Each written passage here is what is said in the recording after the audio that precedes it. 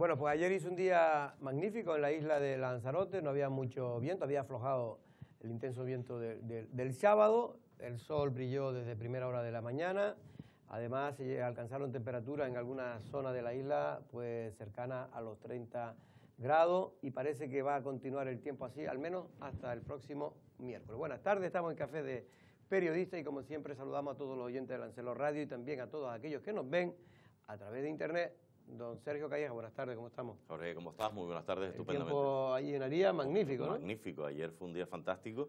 Eso sí, am- amaneció con niebla, es curioso, ¿eh? Lo- lo- el fenómeno de- del norte, mucha niebla hasta las 12 del mediodía, pero hoy, y ahora te lo comentará Paqui también, que la, está, la, la veo ahí, la pobre también sufriendo con el calor, eh, ahora venía y unos 32 grados. ¿eh? 32 ya. Sí, sí, sí. Es decir, que ya 32 grados, buenas tardes, Paqui. esta ya venía asfixiada yo por el camino. Es decir, que sigue subiendo las sí. temperaturas, ¿no? Yo encuentro más calor hoy que ayer. Decían que, que, bueno que hoy empezaba a suavizarse un poco las temperaturas, según la EME, pero parece que yo creo que se desplazaron en un día. pero sí es verdad que hay, hay bastante calor.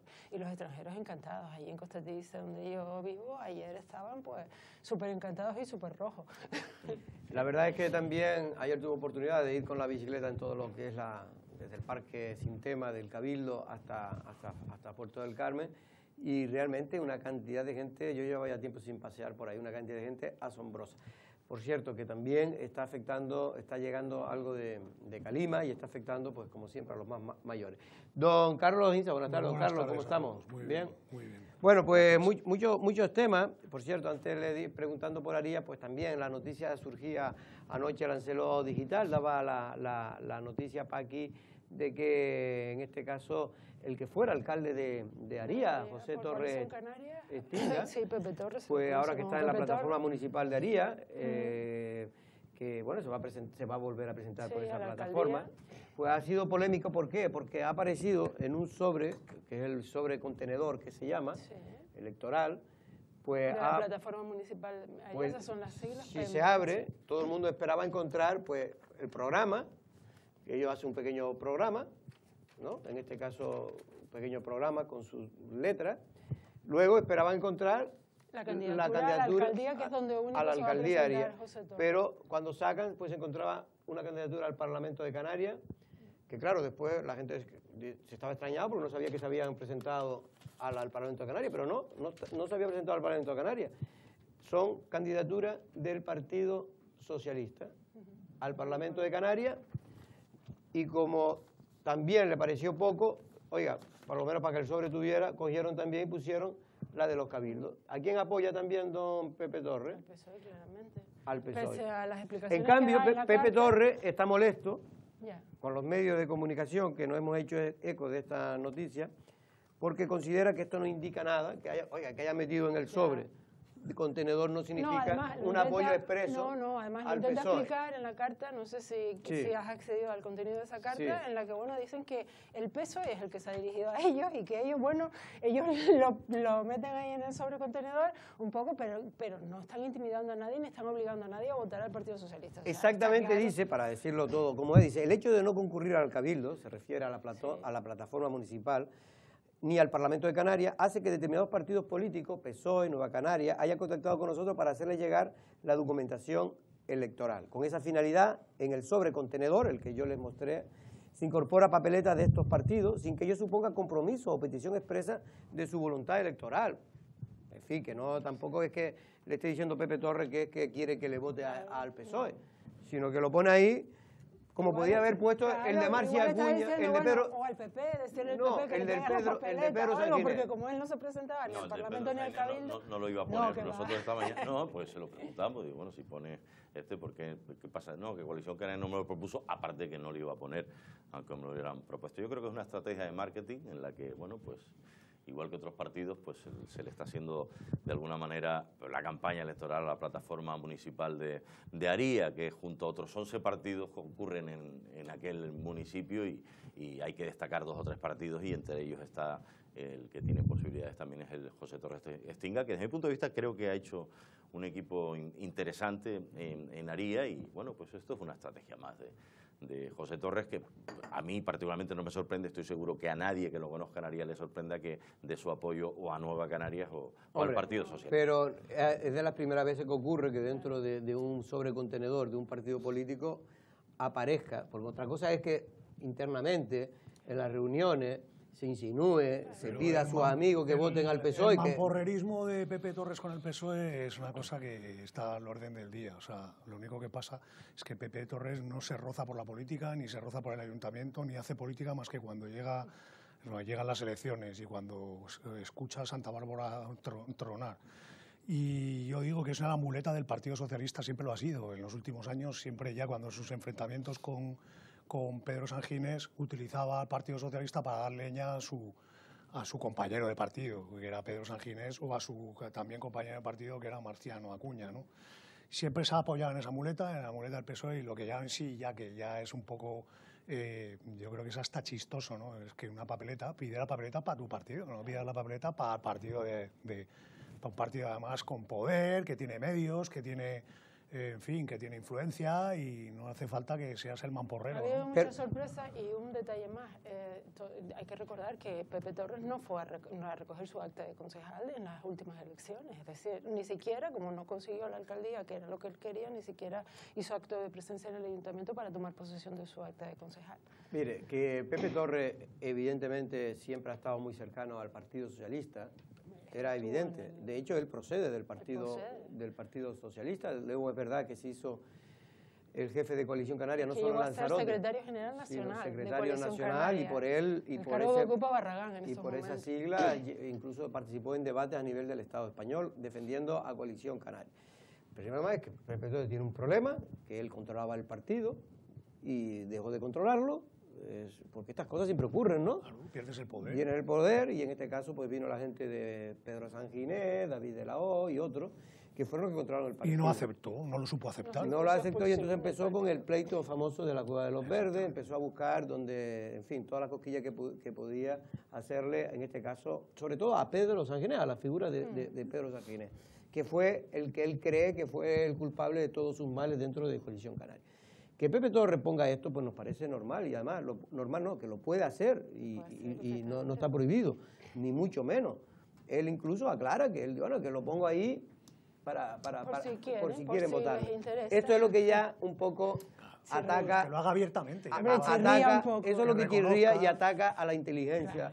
de cualquiera, ¿no? Oiga, mire, usted puede poner ahí y usted quiere apoyar al PSOE. Pero es que ahora el PSOE, al menos Villalba, lo estamos intentando llamar, pero no, no, no nos coge el teléfono, eh, ha dicho que, que, que, él no le ha pedido... Eso era la secretaria general del partido. Dice, tendrá que aclarar la secretaria general. Dice Villalba, Alfredo Villalba, el candidato del PSOE a la alcaldía de Aría. O este regalito, habrá dicho este regalito, yo no me lo esperaba, ¿no? pero bueno, pero yo vuelvo a insistir un poco en lo que tú dices, que es un contrasentido. O sea, si metes la papeleta, defiéndelo. O sea, tú has hecho una, una, has tomado una decisión que es que dentro de las papeletas de tu partido van las papeletas de los candidatos del Partido Socialista. Pues defiéndelo, pero defiéndelo abiertamente. y pues sí, mire, mire, es que yo me llevo muy bien con doña Dolores Corujo Berriel, me llevo muy bien con don Manuel Fajardo Palarea, me llevo muy bien con don Carlos Espino, que además es así, y les apoyo y pido el voto para ellos, porque como sé que mi partido probablemente no consiga nada, o muy poco, pues, y oye, chapo, ahora no seas la muletilla y encima luego a la hora de la verdad te hagas el tonto y digas que es que, te, bueno, que no es así, que no sé qué. Bueno, en esta vida para pedir el voto hay que hacerlo con Pepe la Torres descubierta, se le ha dado descubierta y no con medias tintas. Se le ha invitado, se le ha dado la oportunidad de intervenir y no, y no ha querido tampoco. Él dice que está muy descontento como, como se enfocó la noticia en Lancelot Digital y que le parece impresentable la forma en que se trató la, noticia y desmiente que él haya pedido el voto al PSOE expresamente, ¿no? Bueno, eso es lo que dice Pepe Torres. Luego vamos a tener, pues da la coincidencia que íbamos a tener al alcalde de, de Aría, de Coalición Canaria, a, a Marci Acuña y seguiremos con, con, este, con este tema. Bueno, la romería de Uga, ¿alguno fue? No, pero creo que estuvo bastante bien, como siempre, Como mucho siempre. calor, San eso Isidro, sí. ¿no? San San Isidro. Isidro Labrador, que se celebra el día 15, todavía queda el- el- la fiesta grande de- del patrón. Empezó ahora, digamos, eh, esta Pero- semana, pero termina el próximo fin de semana. creo. Pero sí que sí, eh, creo que hay un que van a actuar también algunos artistas invitados, entre ellos Manu Telario, me parece, pero sí que hubo mucha gente, hubo mucha participación, se llevó muchas viandas, se temporada, bien. ¿no? Arranca Sí. la temporada de Es sí. Como Un poco de la los- fiesta- Los grandes Sí. premios, pues bueno, arranca la temporada de, de romería, que la vamos a tener hasta septiembre por lo menos. Aquellos que había en la, comillas. en la época de, de, sobre todo de Paqui Trujillo, que se recorrían todas las fiestas, pues yo recuerdo que empezaban por ahí, ¿eh? Yo antes sí, iba a todas las fiestas. empezaban por ahí y terminaban, para que ustedes lo sepan, en las Mercedes de Mala, que es una fiesta que, que tuvo su, su encanto, las Mercedes de, de- de Mala, si no me equivoco. Que ya es eh, a finales de No, septiembre. la gente en, en la península la gente se ríe de los andaluces, ¿no? La gente se ríe de los andaluces, dice que empiezan, o sea, que empiezan Navidad, luego los carnavales, luego las ferias la y la Semana Santa, las ferias y eso se- y, y si eres andaluz, pues te pe- puedes pegar de fiesta pues todo el año. Y aquí un poco pues, andamos muy cerquita de Andalucía, ¿eh? porque empiezas con eso, con las Navidades, carnavales y ahora ya empiezas con la Empiezas romería. la A veces hay, hay, Luego ya la hay fiesta. días Toda la libres. patrona y, y es verdad que yo, como tenía familia en, en Femes, terminaba en la, de lo- en la del Rosario, que es el el 7 de octubre, ahí en Femes, con lo cual... Era increíble. Bueno, pues de fiesta en fiesta y me tiro con- porque me toca, porque así van a estar hoy, sobre todo mucha gente joven que suelen ir a hacer el recorrido y no se pierden, no se pierden uno. Que Dios le conserve esa- esas ganas. Por cierto, que fallece José García. ¿Quién es José García? No sé si podemos ver imágenes. José García es el- la persona que tiene la famosa casa que está a la entrada de, de la villa, eh, Paqui, no sé si tú has estado alguna vez allí No, pero... a la entrada de la villa cuando viene de la la gasolinera. eso, Sí. tan extraño, como el, el- en Guinate había un señor Él empezó haciendo, yo recuerdo, eh, empezó haciendo en los años 80, con- recogiendo, recogía el jallo, que era la- sí. el jallo es lo que se encuentra en las costas del norte de la, de la marea, ¿no? Que trae la marea a la orilla, ¿no? Y él ponía tal y bien se le ocurrió hacer una especie de, de fin, de, no se sabe muy bien lo que era, pero, pero una especie de, de escultura. un museo. Ahí lo está entrevistando el que Tomás, ¿no? colaboró con No. nosotros en aquellos tiempos, eh, Tomás, que, Tomás, Tomás que fue López. consejero del Cabildo, ¿no? Bueno, sigue, Sigue siendo, siendo consejero. todavía hasta que no acabe el mandato. Mm. Eh, eh, este, este tipo de, de- de arte, entre, entre comillas, pues bueno, hay gente que sí. pues, Bueno, la que se eh, llevaba, eh, tú ves el Facebook, la el fotografía, Facebook que la- me, me han mandado, hay gente que, que como le ha sacado fotos Claro. de todo el mundo, Eh. hay gente que se ha enterado y le ha mandado incluso alguna que No, otra eh, cosa. pero realmente pues, el, el arte es como todo, ¿no? Para gustos, colores. Yo recuerdo de pequeño ir a Guinate a ver un señor al final de- del pueblo de También Guinate, del Risco. ¿Te acuerdas que llenaba su casa También, también, de de, Ah, él lo subía también del, no sé si él lo subía del Risco, ¿no? Pero bueno, eh, sobre todo los días, los domingos en la villa, cuando era el mercadillo, muchas de las personas que antes de entrar al mercadillo pasaban por allí, se tomaban su fotografía con... No, bueno, incluso hubo una época, en los años, yo creo que principios de finales de los 90, que él se sentaba allí en el jardín Es verdad, yo y, y la gente se le sacaba fotos con él y Sí. él hablaba con él, en fin. Es un hombre que es también de una familia muy conocida en, en- en la villa. Su hermano es el que era el propietario y sigue siendo el propietario, no el que lo gestiona, pero sí el propietario del Bar Sol en, en Famara, ¿no? El famoso Bar Sol de, de Famara, ¿no? en, aquello- en aquellos años prácticamente era el primer bar, sino que uno recuerde de verdad que existió, fue el del hermano de- de- del amigo José García. Bueno, pues aquí darle el sentido pésame a toda su, su familia. Y, y También bueno, fallecía este fin de semana el, el que fuera maestro del colegio Ah, durante verdad. muchísimo tiempo y además director. Sí, y también tenía muchos seguidores Sí, y mucha gente, pues eso, lo sentía mucho, había mucho sentimiento en torno a su figura. También desde aquí me, pues, me ha sentido sí, pésame a San toda la familia. le, le- le ha enviado una, Sí, la- una- nota de ayuntamiento, La condolencia. alcaldesa le, han da- le ha enviado nota de condolencia. Bueno, y la campaña electoral, pues, pues, pues, ¿qué le voy a decir? Pues la campaña electoral es verdad que, que el fin de semana eh, en Lanzarote se paró un poco por el tema de, de la muerte de- del ministro, el exministro del Interior, el señor Ruba- Alfredo Rubalcaba, Y, eh, por ejemplo, el PSOE tenía... Bueno, de no para- hecho, el viernes eh, casi todos los partidos políticos suspendieron sus actos, a excepción de Vox, que siguió con porque la ya lo tenía programado y le- ya no le quedaba más tiempo. Y no sé si algún, algún no sé si el, el Lanzarote Avanza también Lava celebró, también tenía algo. celebró su, la presentación del candidato de Arrecife. El resto... eh, El propio PSOE suspendió lo el de la PSOE ministra también. el PSOE Sí, bueno, no es que suspendiera, hecho, no es que la ministra no vino, claro. porque la ministra Es que de hecho, tenía que estar ahí. Pedro Sánchez, que tenía que estar ayer en, en Gran Las Canaria. Palmas y Tenerife, Ah. suspendió la visita también porque él se incorporaba eh, hoy, me parece, a la No campaña sé si vieron las imágenes en Madrid a la salida del Congreso de los Diputados, la cantidad de gente que fue a despedir impresionante. a Alfredo Pérez Rubalcaba, que es bueno, un hombre eh, que como ministro del Interior tuvo sus- sus enemigos, sobre todo sus enemigos Y sus estaban... luces y sus sombras. Sus enemigos no- estaban no, más bien en la, en la oposición, ¿no? Porque pusieron en duda una serie de, de- de- de actuaciones y después tenían, tuvieron muchos amigos. Por, ejemplo, la Asociación Unificada de Guardia Civil, que son ese sindicato mayoritario de la Guardia Sí. Civil, ha puesto un post en, en su Facebook apoyando a Muy Alfredo, favorable. eh, muy favorable a Alfredo Pérez Rubalcaba. Creo que es significativo, ¿no? Quiero Pero decir, se viste la cantidad de gente que había fuera del Congreso de los Diputados, es impresionante. O sea, Sí, y, sí, y sí. sobre todo te quedas con, con la idea de que la gente lo ve, esto, esto le sirve yo creo de lección, entre comillas, para los políticos de ahora. Es decir, mm, que la gente, la la- el pueblo, pues eh, alababa yo en las entrevistas que hacían a la gente que estaba esperando para, para, hacer- para escribir algo en el libro de condolencias, eh, comentaban eso, que era un político serio, un político que no se, haya- se había ido po- por la puerta giratoria, sino que había vuelto a la facultad, y un político que, bueno, que, que había hecho lo que, que había hecho mucho por, el, por la ciudad, y un político muy serio. Eso de alguna manera, y un político como los de antes, porque claro, ahí en los de antes y los de ahora parece ser que la, la calidad de los políticos, según el pueblo en general, Claro, es bastante más baja ahora que antes. Bueno, y eh, hablando de campaña, en este caso el Partido Popular, hoy, Astrid Pérez, pues presentaba un poco el programa, el programa de, mm, con el que se presenta a las elecciones. En este caso, Astrid Pérez ha venido a, a decir que si sale alcaldesa, una de las primeras medidas que tomará va a ser la mejora de las guaguas, que la verdad que da un poquito de pena las guaguas. Eh, eh, Ha eh, hecho muchas, ha hecho muchas, porque yo he estado y me ha sorprendido que ha hecho un montón de propuestas. y el tema de la apertura de la avenida, Bueno, esas entre son algunas, esas son Hombre. algunas, pero tiene muchas. Pero propone, entre otras, equilibrar el presupuesto, o sea, que haya una dotación presupuestaria igual en los barrios que en el resto de la ciudad. O sea, que dotar de cada barrio de un concejal.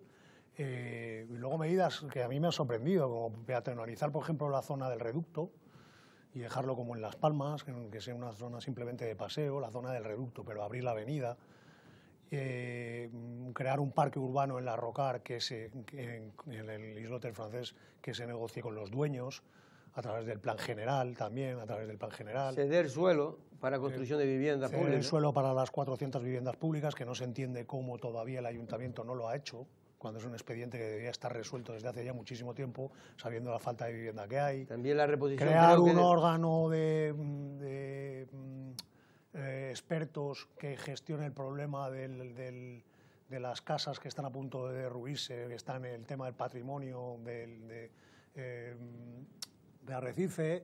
En fin, ha hecho una serie de propuestas eh, curiosas, eh, algunas bastante curiosas.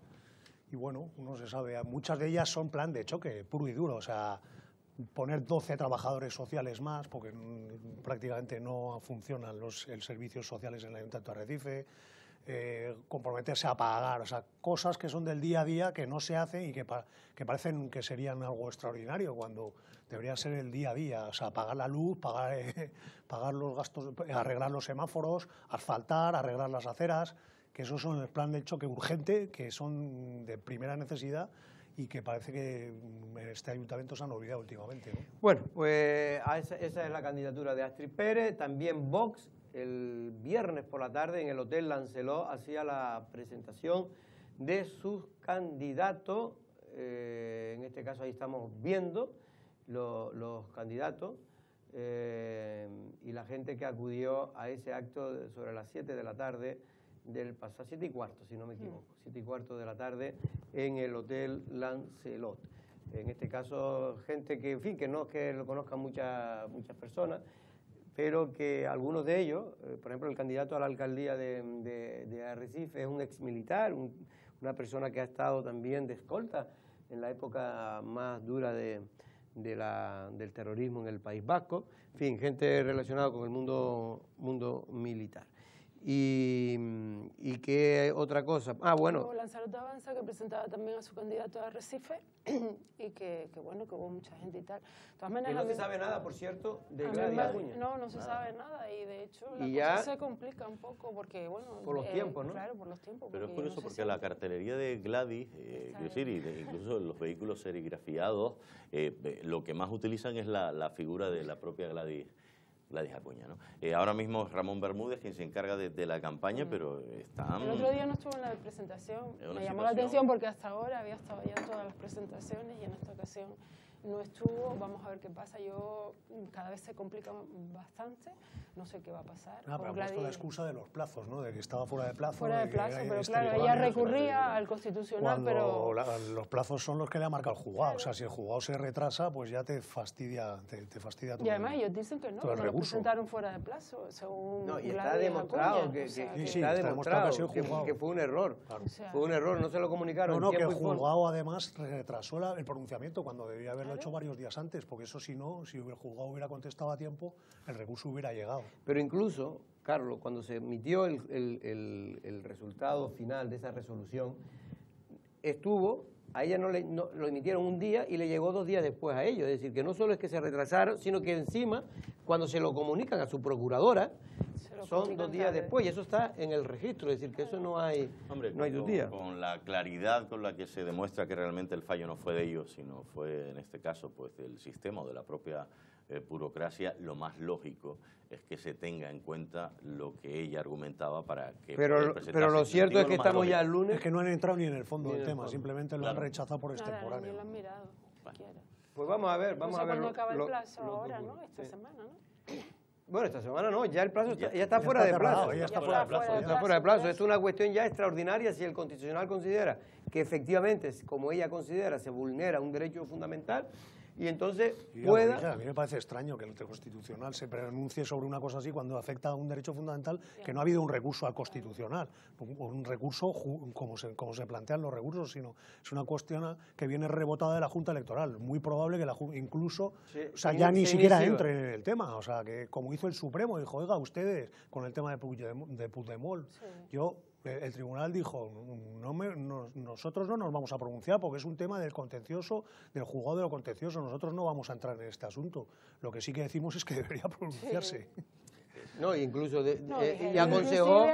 y aconsejó la Fiscalía también lo aconsejó. Que podía o sea, presentarse. Ahí se ha, se, ha se ha visto cómo desde la llegada de Pedro Sánchez de las pasadas elecciones se ha abierto co- cómo los, los- los propios tribunales han ido, y la Fiscalía, eh, sobre todo la Fiscalía, han ido abriendo la mano y han cambiado ya el criterio. Bueno, y hay una noticia que ayer pues, llamó mucho la, la atención, la publicaba el Lancelot Digital, y es que una especie de hooligan, por llamarlo de alguna manera, un hincha eh, violento, inglés, que estaba de vacaciones en la, en la isla, pues por lo visto estaba, eh, se cree con algunas copas de más, en un bar nocturno de, de- Puerto del Carmen, y tuvo, mantuvo un altercado con, con el personal de, de- ese, de ese local nocturno.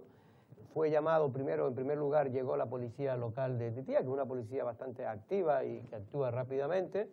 Pero claro, se encontró aquel hombre que era imposible eh, de alguna manera calmarlo, ¿no? sino todo lo contrario, se puso todavía más violento.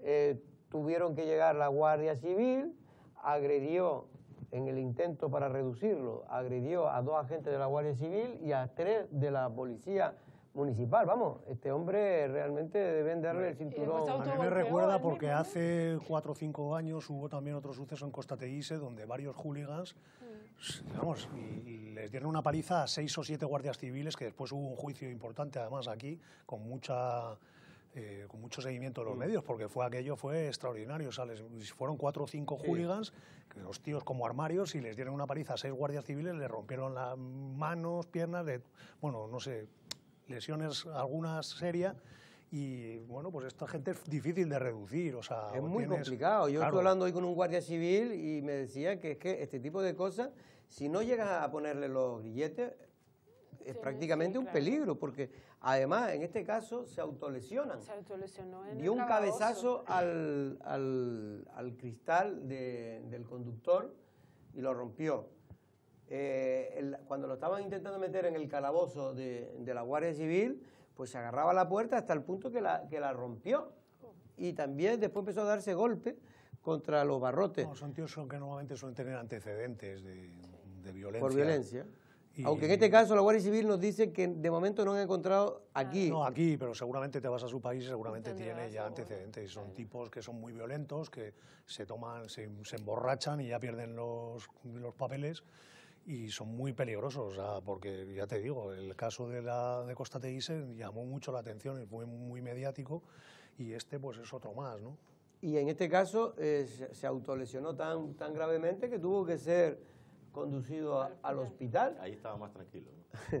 No, creo que le tuvieron que dar un calmante. Algo en calmante. Una botella de whisky. Y, y- y luego, no, ahora creo, eso no me lo han podido asegurar del todo la Guardia Civil, pero dicen que se, se oye que porque tendría que haber ido ya, un esto se, hace, se resuelve por un juicio rápido, cuando es este tipo de casos. Y no se ha podido celebrar porque no ha podido ir el hombre allí de cómo se, de las heridas que tiene, que él mismo se, se hizo, ¿no? En, en- en la propia, en el propio calabozo, ¿no? Eso es lo que se alega.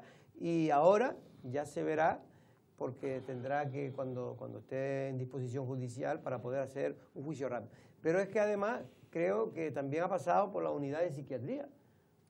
Para ver cómo está el hombre, ¿no? Porque, porque es que no es normal. Según me cuenta testigo, no fue normal cómo actuó esta, esta persona, ¿no? Menuda, menuda pieza. Mi admiración a los cuerpos y fuerzas de del Estado, a las policías locales, porque su trabajo nunca ha dicho nadie que sea fácil y estos casos demuestran que, que así lo son. No, y en estos casos, sobre todo, hay que tener mucho cuidado porque siempre, hombre, en la época de Franco, cuando ocurrían estos casos se le echaban incluso las culpas a la policía, policía, después lo- lo- en, los, en los sectores más, más progresistas, ¿no? Y hay que, la- yo siempre les digo que sean ustedes policías y se, además te y se juegas el encuentren, tipo, te juegas y se encuentren con un energúmeno de este Estos tipo. tipos no tienen ningún reparo, se encuentran una botella y te pegan un botellazo en la cabeza y se quedan más anchos que es muy Ah, peligroso. Efectivamente, aún, como siempre aquí hemos defendido, la proporcionalidad Hombre, que hay que tener a la hora de tener una persona, ¿no?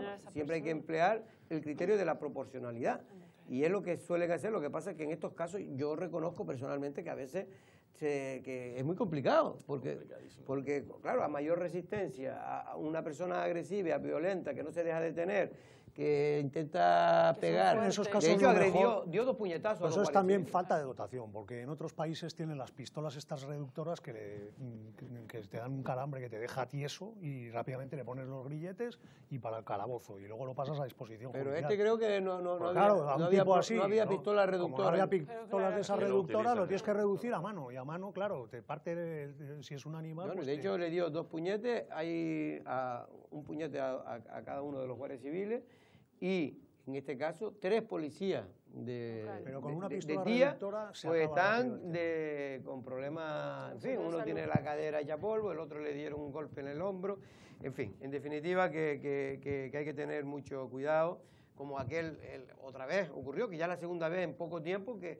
que en un vuelo a Gran Canaria intentaron abrir la puerta del avión en pleno vuelo. ¿Así otra vez pasó? ¿qué? ¿Otra Sí, vez? otra vez, sí. Es decir, que si se toman ahora por- como moda esto de abrir la, la, la puerta, imagínate tú el peligro que supone, ¿no? lo, lo que tendría, y yo me imagino que es cuestión de quien dirige el avión, que es un comandante, ¿no? No- normalmente. Eh, yo los he visto además que no han permitido la entrada a personas que están realmente en- en- no en condiciones de, de- de viajar, pero también debería plantearse el hecho de vender o no alcohol dentro de, de las aeronaves. Es cierto que esto de prohibir a veces, pues ya te toca un poco las, las narices, ¿no? Pero visto esto visto en determinados vuelos y de, de determinados lugares, de determinados países, yo creo que se debería plantear el hecho de... De todas maneras, me da a mí, eh, Sergio, que este ya venía con las copas antes de... Pero ahí es cuestión del capitán. No te enteras hasta que te monta el pollito. Claro. Claro, claro. A mí me ha pasado de, de ir en un vuelo y parar el, el no salir hasta solucionar el tema de alguna persona, pero es verdad que a lo mejor entran y tampoco hay, ni- no te hacen ninguna Claro, prueba ni nada, a ver el estado en el que te encuentres. Bueno, pues vamos con, con el invitado, con Marci Acuña, con él vamos a hablar de Aría, porque se presenta como alcalde de ese municipio.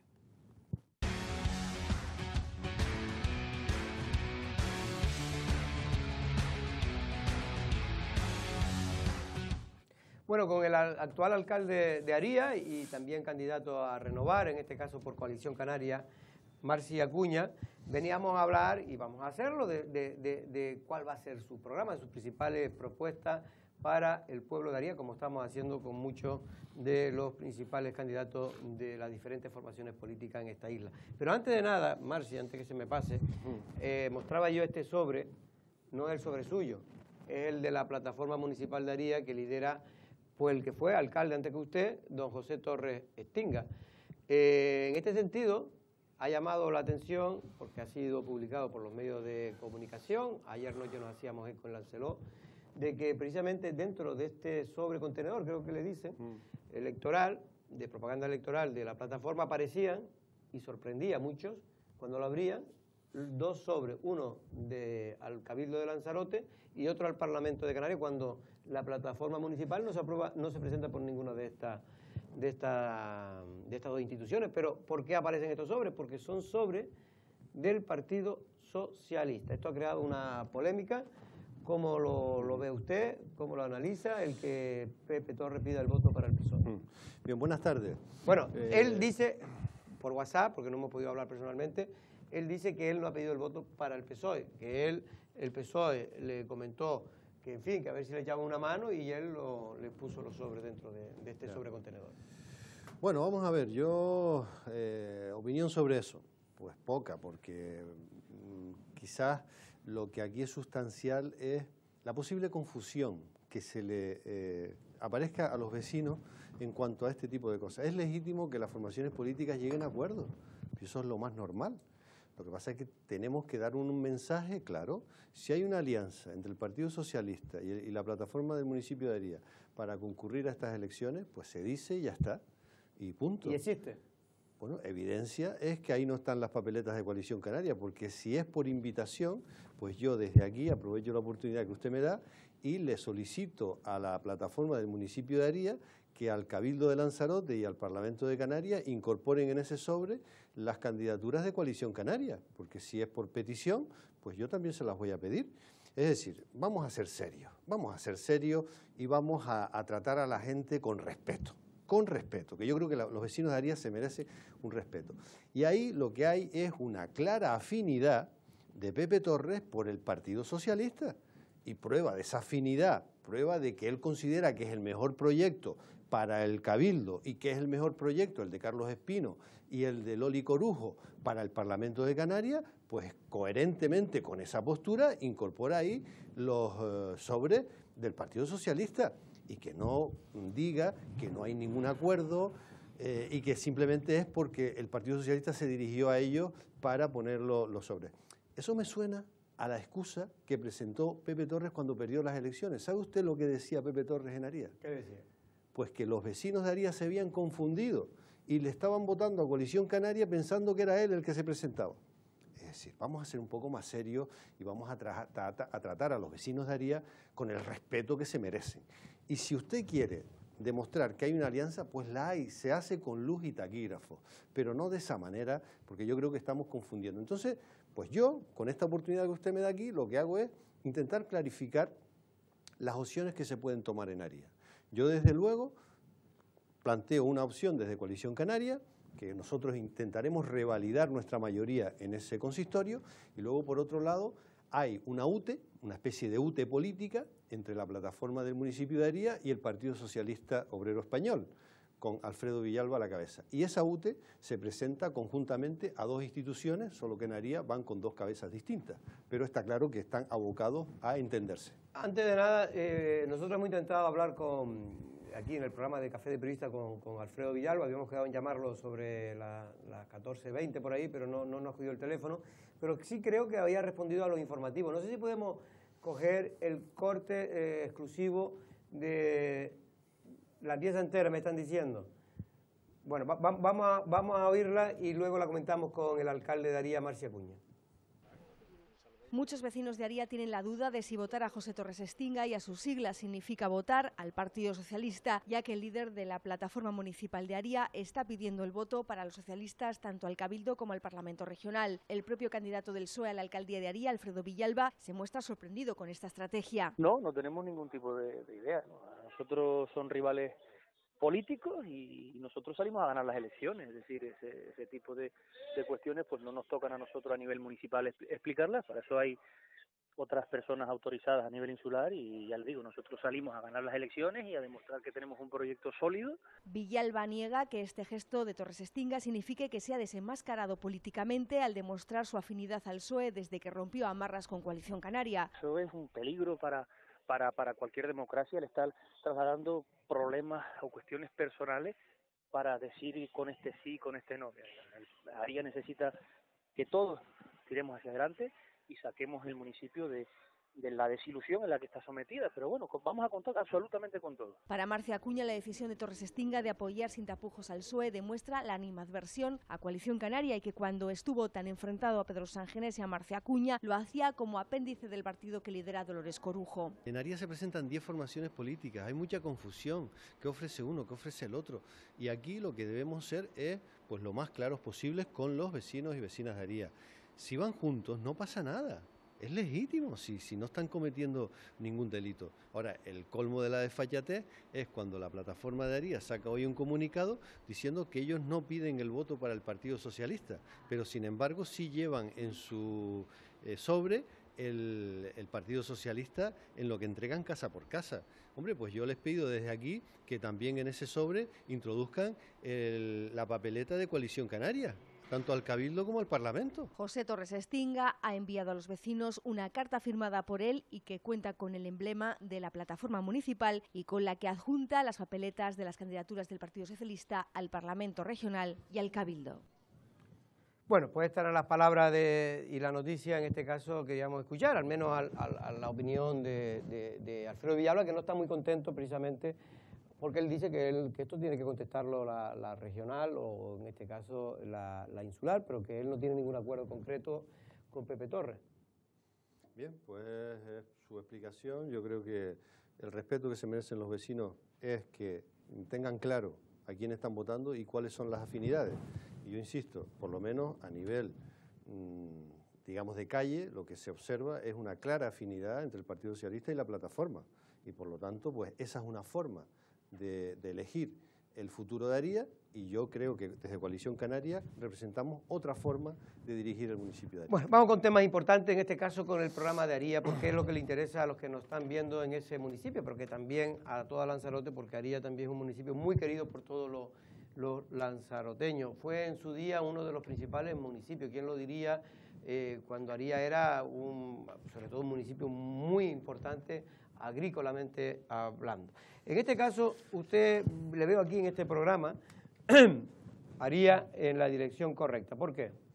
Bueno, nosotros entendemos que Haría está en la dirección correcta. Nosotros entendemos que cuando cogimos este ayuntamiento teníamos una herencia recibida eh, claramente complicada, 1.300.000 euros de deuda y supuestamente íbamos a recibir un municipio saneado y sobre todo todo por hacer. ¿eh? No, teníamos, no tuvimos un cambio de papeles normal, el capitán del barco se fue, abandonó el barco, la tripulación no estaba y, y que nos encontramos el barco.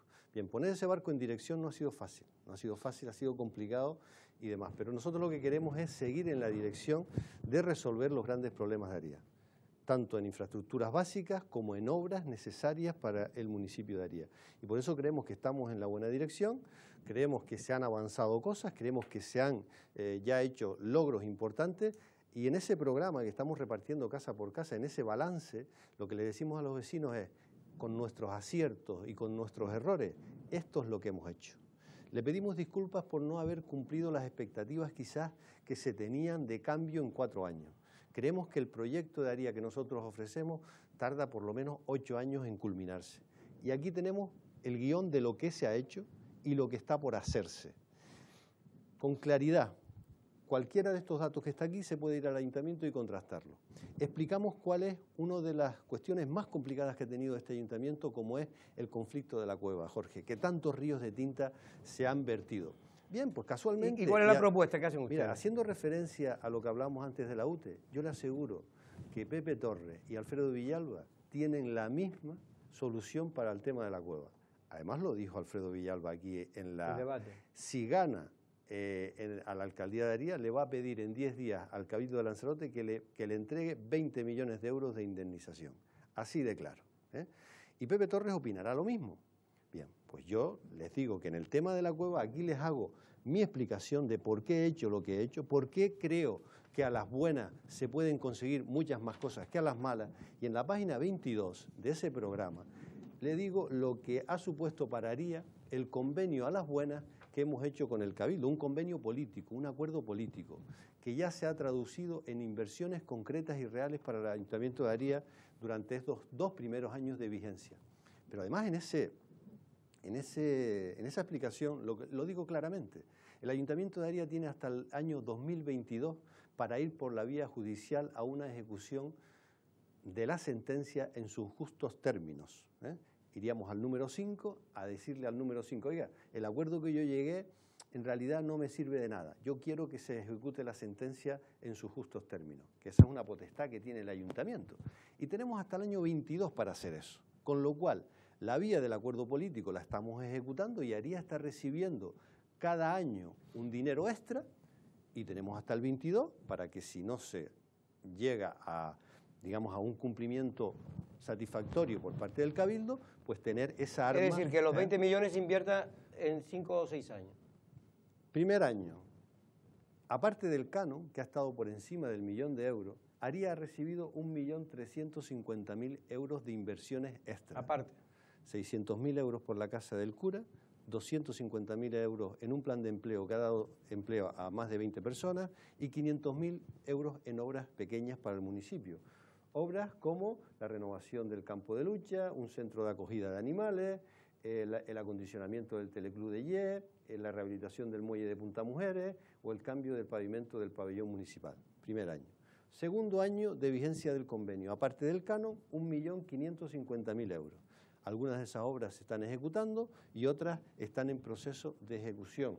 Tenemos la adquisición de la Casa de la Plaza, 800.000 euros.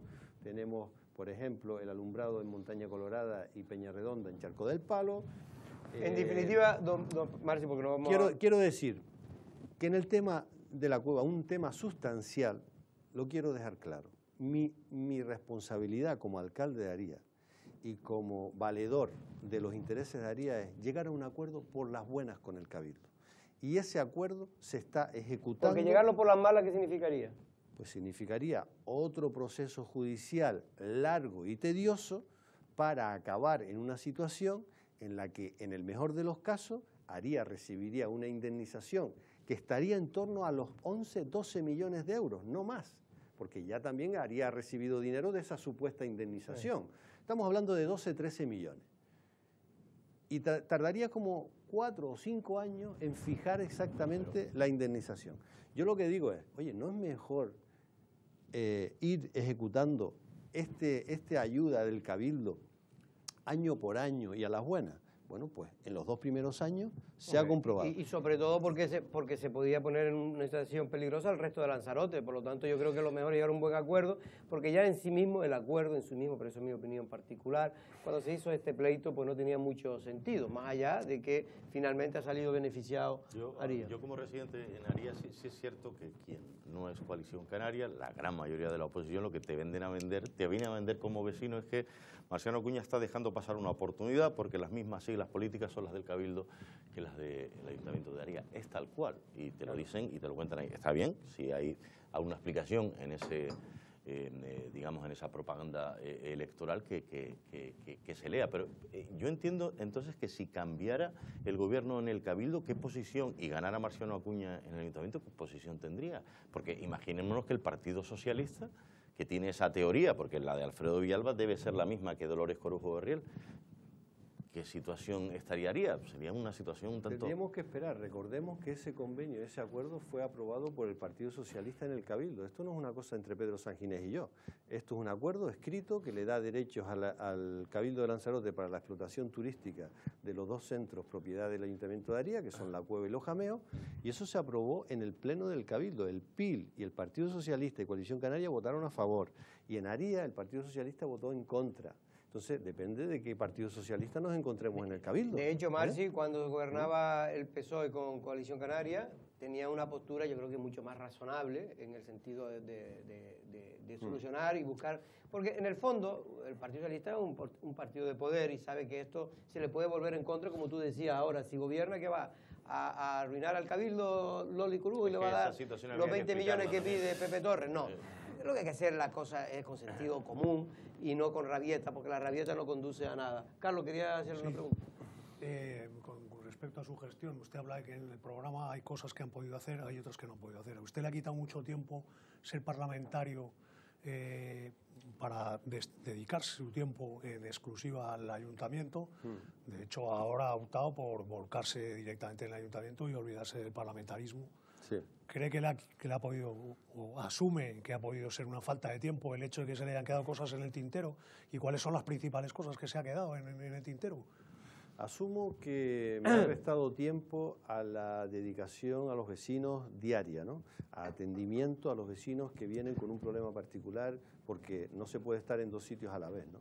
Asumo ese error y eh, por eso en, este, en esta ocasión el partido también me pidió ir a dos instituciones y yo les dije que en este caso no, que creía firmemente que Haría me necesitaba al 100%.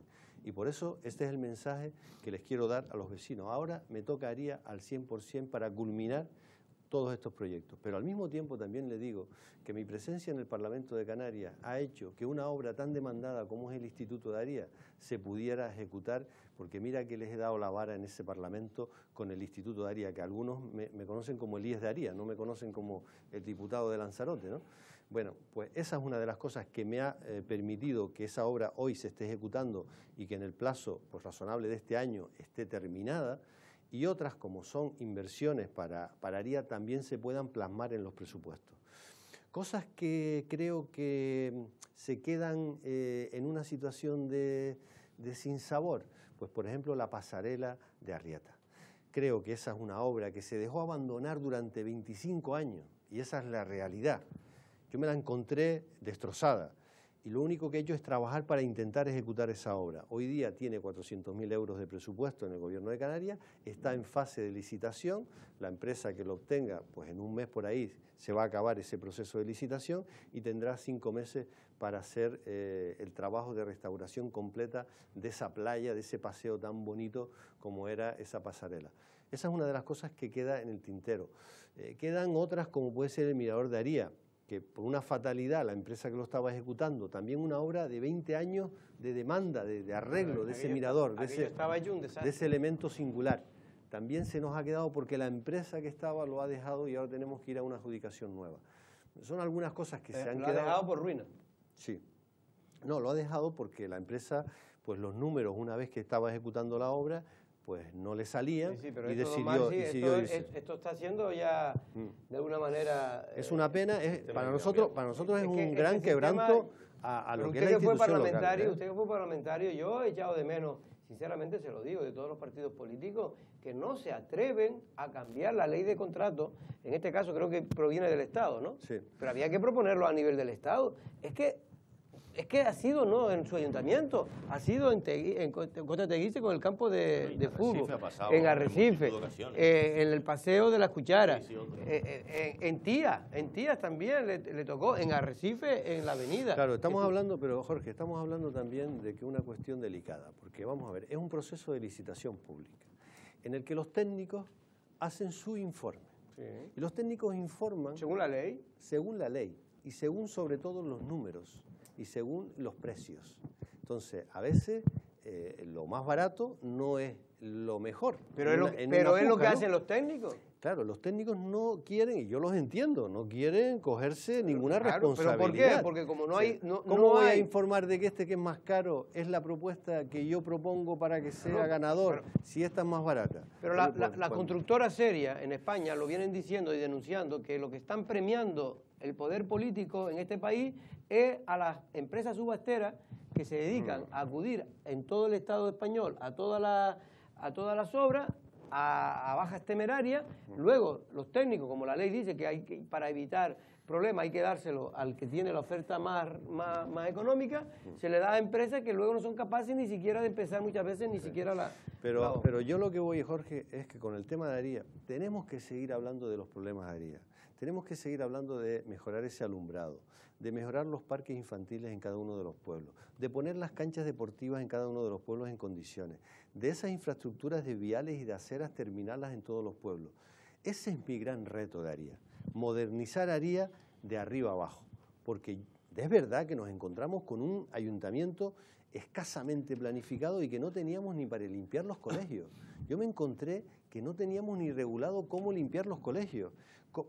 Empresa para eso? Ni cómo limpiar la plaza, ni cómo limpiar la plaza. Nos encontramos un municipio que el nivel de, digamos, de, arbitrariedad y de improvisación que existía era tremendo. Hoy día hay contrato para la limpieza de los colegios, contrato de limpieza para los viales, Hombre, yo creo que hemos avanzado en es algunas decir, que, cosas. que ¿eh? más bien han, dedicado los cuatro años a ponerse al día en el nivel... Hemos trabajado sobre todo en lo urgente, en lo urgente, que es el día a día, en, dar servicio. Creemos que ahora estamos en mayor disposición de trabajar lo urgente también, pero también lo importante. Y esos proyectos, llevarles un seguimiento para que se ejecuten, esos proyectos emblemáticos que teníamos, que estamos hablando la pasarela de, de Arrieta, esa rehabilitación del casco histórico de Aría, necesitamos una gran inversión en Aría para hacer un aliciente extra el pasear por Aría, que tenemos unas calles que no invitan a pasear, no invitan a disfrutar el pueblo tan bonito como es el casco de Aría. ¿no? Y eso tenemos que buscar los fondos para ejecutar esas obras. Y eso es en lo que tenemos que estar centrados. Si volvemos a repetir un gobierno en Aría que esté más pendiente de los problemas personales, de las cuitas políticas en los partidos, de luchas de poder, no hablaremos de Aría. Seguiremos dejando a Aría en otro rincón. Y yo lo que demuestro en este, digamos, balance de gestión es lo que hemos hecho en cuatro años, en cultura, en patrimonio, en deporte, en todas las áreas que hemos hecho. Y en función de esto, quiero que me juzguen y juzguen a este grupo de gobierno, en función de lo que hemos hecho, no de lo que dice este o de lo que dice el otro. Aquí están los datos claros. Puedes estar de acuerdo o no puedes estar de acuerdo. Pero nosotros Creemos que esto es un ejercicio de transparencia absoluta, diciendo todo lo que hemos hecho y también los errores que hemos cometido. Marciano, eh, si hay lugares donde se garantiza eh, que pasen eh, de diferente manera y casi diariamente cientos de personas, hay días que pasan miles, son los lugares que haría, pues las carreteras que haría van a esos centros turísticos, ¿no? Tienes que pasar por Yepa, ir al Mirador del Río, pasar, digamos, o rebasar luego Mala si sales de Guatiza para irte hasta Mala, quiero decir, eh, los amigos del agua, la, la, la los verdes.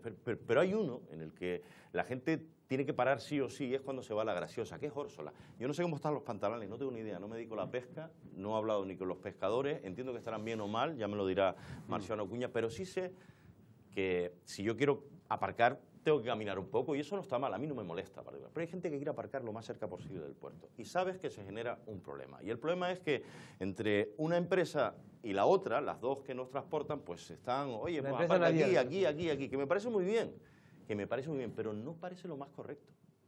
No. parece lo más correcto. Yo no sé si tienes en ese programa electoral algo sobre Estamos de acuerdo. Y yo le digo las luces y las sombras en ese pueblo de Orsla. La luz es esos pantalones. Esos pantalones han mejorado lo que es la ordenación de esa bahía en cuanto a, las embarcaciones.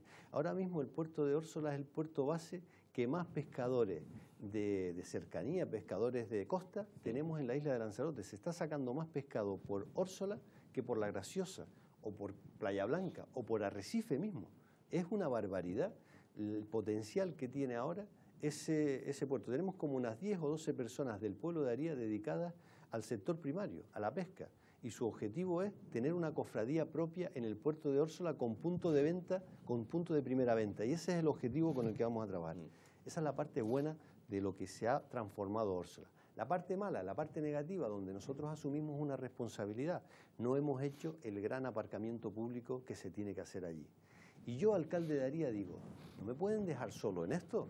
Esto es un tema insular o interinsular, porque es la conectividad de dos islas y el Ayuntamiento de Aría no puede resolver. Es como si el Ayuntamiento de San Bartolomé tuviera que resolver el problema del aparcamiento del aeropuerto. Pues está, hay un ente que es AENA, el Estado, que resuelve una situación de aparcamiento en el, en el aeropuerto de Lanzarote, ¿no? Pues esto es lo mismo, el Cabildo y el Gobierno de Canarias tienen que echarnos una mano para arreglar este problema. Pero hay, hay, hay espacio, porque yo... Hay que buscar un espacio. Nosotros, ¿qué hemos hecho en el Gobierno de Canarias? Eso lo he hecho como, como parlamentario el gobierno de Canarias poner un dinero a disposición del Cabildo para que adquiera suelo, porque no tenemos suelo público donde hacerlo. Y, ya se ha puesto en el presupuesto 150.000 euros para comprar el suelo en el que iría ese aparcamiento. Tampoco es un aparcamiento que va pegado a la costa, porque si en esa costa tan frágil, tan bonita, metemos 2.000 coches aparcados en esa orilla, pues dígame usted si eso es una buena imagen para el que sale o entra de Lanzarote. Mm. Pues probablemente no nos gustaría esa imagen. El, el, aparcamiento está planteado en el centro del pueblo, hay que caminar cinco minutos caminando al puerto. Ah. Aquellas personas con movilidad reducida sí podrían llegar hasta el puerto, pero el aparcamiento normal estaría cinco minutos caminando. ¿Y el tema de la carga y descarga? ¿La gente podría descargar las, cosas cerca al barco? Pero ese es un proceso que nosotros hemos hecho una gestión de poner el dinero para que el cabildo adquiera el suelo y ejecute la obra. Y ese es un deber que no hemos cumplido. Y hay que pedir disculpas. Y hay que decir, oye, me hubiese gustado hacer más, pero no he podido llegar sino a poner el dinero para adquirir el suelo. He hablado con las navieras, he intentado que, se haga lo más cómodo posible ese aparcamiento, siempre intentando que las molestias sean las mínimas, aunque generan molestias en los vecinos, pero las cosas son como son. Y ese es un deber todavía por cumplir en Oso. Última pregunta por parte de los invitados. yo, yo, también no soy residente del norte, pero estoy muy, muy ligado al norte y sé que hay bastantes problemas todavía por resolver. Uno que a mí de los que más me preocupan es el tema de las carreteras. La carretera que va, que viene de, de Guatiza, de Mala, y que pasa por la playa de la Garita, ahí hay dos cruces que son peligrosísimos. Uno que es para Taballesco y otro que es el de para entrar en la playa de la Garita al restaurante de la casita de la playa. Ahí tendría que hacerse... Pasado esa rotonda, pasada la rotonda de Arrieta, continuando hacia Jameos, ahí hay un cruce que es el de entrada en Punta Mujeres, dos cruces de entrada en Punta Mujeres que son peligrosísimos. Y después está el tema de la rotonda de Jameos del Agua y de la... De ahí no se ha hecho absolutamente nada en 30 años. Y cada vez vienen más coches, cada vez hay más bicicletas. Los vecinos lo están pidiendo a gritos, porque además son cruces que no tienen visibilidad, que ha habido accidentes gravísimos. ¿Qué se va a hacer con eso? Tiene usted razón, eh, esas son obras que están pintadas en el plan de carretera, en el plan de carreteras del Gobierno de Canarias. No es competencia municipal arreglar eso, pero sí hemos insistido al Gobierno de que esas dos cuestiones hay que resolverlas, tanto el cruce de Taballesco como el que usted dice con la intersección de la LZ que va hacia allí. Bien, esas son dos obras que están pintadas y se tienen que ejecutar.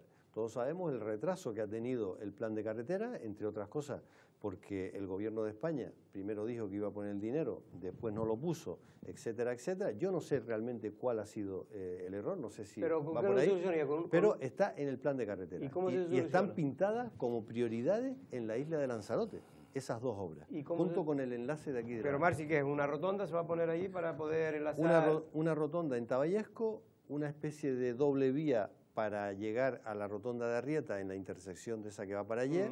Eso se solucionaría porque los que salen ahora, digamos que vienen de los jameos hacia Recife, no tendrían que hacer esto, llegarían por un carril único hasta la rotonda de Arrieta.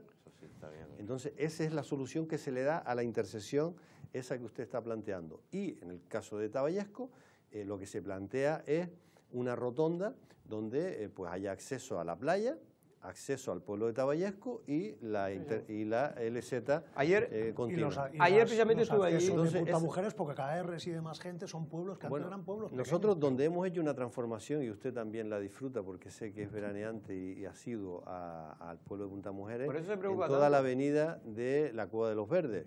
Eh, toda esa calle la hemos transformado, han sido casi 600.000 euros de inversión en esa avenida, creo que se ha mejorado la accesibilidad en las aceras, eh, ha habido una transformación y una comodidad. Eso, esa obra también se retrasó y tuvo retraso. No, yo me refiero a la carretera que viene de Órzola, que es esa donde están los cruces peligrosos. Sí, y esa, esa no compete al ayuntamiento. La que compete al ayuntamiento era la, la que conecta a los pueblos de Arrieta y Punta Mujeres. Y ahí, a pesar de que se retrasó la obra, hemos mejorado la accesibilidad, se puede pasear, hoy puede usted ir paseando en una acera accesible desde el extremo de Punta Mujeres, el que da para Jameo, hasta la playa de la Garita, y eso creo que es un gran lujo porque lo contemplamos como hay tantas personas que pasean por esa zona, y luego hemos hecho un gran plan de asfalto en el pueblo de Punta Mujeres, calles que no se asfaltaban desde hacía 30 años. Y esas mejoras se han dado y ese modelo pues ese trabajo que hemos hecho en algunos pueblos más, en otros menos, es el que, el que queremos hacer extensivo a los 10 pagos del municipio. Pues mira, ya como última pregunta, pues nos tenemos que ir. Marci, eh, Pepe Dorta ha sido su compañero de grupo de, gobierno. Me gustaría, porque, hombre, muchos creemos, en fin, gente que, que, que hemos, conocemos cómo se trabaja y cómo trabajó Pepe, pues la verdad que consideramos que es una pena que el hombre se retire de la política, ¿no? Y su grupo de políticos. Sí, la verdad es que yo no tengo sino palabras de gratitud, porque es una persona íntegra, una persona con una entidad eh, personal y ética tremenda, y, yo no tengo sino palabras positivas hacia su colaboración en este gobierno. Desde el minuto uno lo tuvimos claro, tenemos un proyecto de municipio muy parecido y hemos trabajado eh, con total eh, sintonía y algún problema que hemos tenido lo hemos hablado y no ha habido mayor dificultad.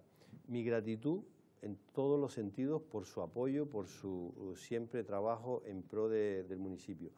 Yo le dejo las puertas abiertas si yo continúo siendo alcalde de Aría y él me lo ha dicho que piensa colaborar pues en proyectos como es el mantenimiento de la finca agroambiental de los Lajares, la constitución de una bodega municipal de carácter artesanal el otro día, y aprovecho, la Asociación de Amigos del Vino hacía un encuentro y se presentaron 115 vinos, casi todos del municipio de Aría, mm. pequeñas bodegas artesanales.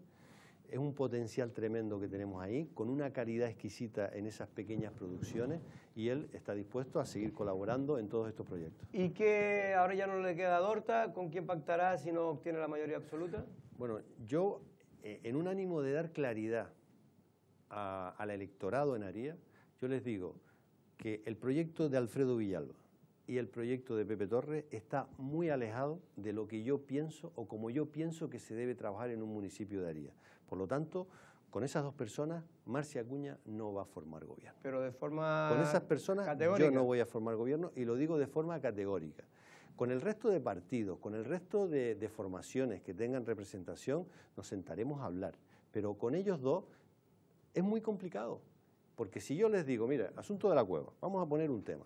Digo, oye, vamos a analizar eh, de qué manera podemos eh, analizar esto. Ellos solo tienen una forma, una única dirección, guerra, sentencia judicial, Hombre, si cambia, si cambia el cabildo y no está Pedro, a lo mejor ya no estarían tan exigentes. Don Marci Acuña, muchas gracias por explicar aquí a todos los, en este caso ciudadanos de, de Aría, del pueblo de Aría, pero también a toda Lanzarote, su programa electoral y, la, y sobre todo el balance de gestión de estos últimos cuatro, años.